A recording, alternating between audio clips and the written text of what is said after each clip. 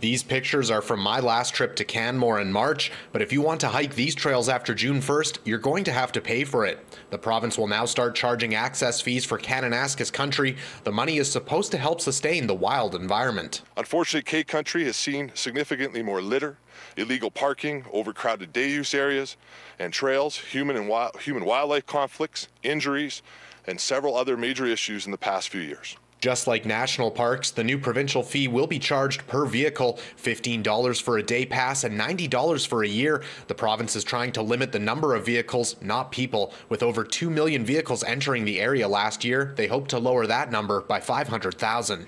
But most importantly, we have a responsibility to conserve this landscape, one of the most beautiful places in the world.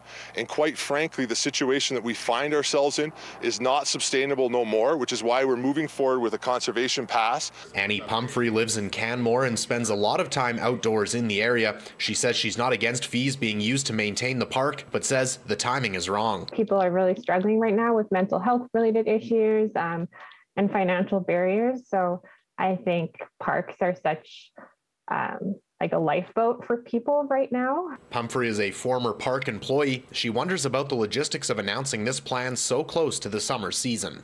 A lot of the seasonal jobs have been cut. So, in terms of logistically, um, on the ground enforcement, I think it's going to be really challenging since um, most staff get hired on in May. The move has some wondering why the province would introduce it during a pandemic when health officials are encouraging Albertans to enjoy the great outdoors instead of trying to prevent people from coming to these places, um, having more funding to grow these places and make it more accessible and have more on the ground staff just to manage it better. In Edmonton, Darcy Ropchan, City News.